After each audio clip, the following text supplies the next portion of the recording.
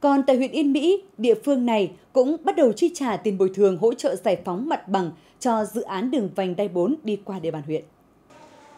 Ngày 17 tháng 6, huyện Yên Mỹ tổ chức chi trả tiền đền bù hỗ trợ giải phóng mặt bằng cho 28 hộ dân có đất nông nghiệp nằm trong phạm vi xây dựng đường vành đai 4 tại xã Hoàn Long với tổng số tiền chi trả là 15 tỷ đồng. Dự án đường vành đai 4 đi qua huyện Yên Mỹ có tổng chiều dài 2,5 km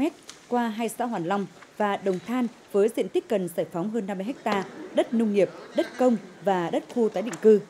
Do đẩy mạnh công tác tuyên truyền vận động người dân đồng thuận giải phóng mặt bằng, đến nay bộ phận chuyên môn của huyện đã kiểm đếm và lập phương án bồi thường hỗ trợ cho hơn 400 hộ dân có diện tích đất nông nghiệp, đất ở nằm trong phạm vi thực hiện dự án. Huyện Yên Mỹ cũng phấn đấu trước ngày 30 tháng 6 sẽ giải phóng mặt bằng ít nhất 70% diện tích cần thu hồi cho dự án đường vành đai 4.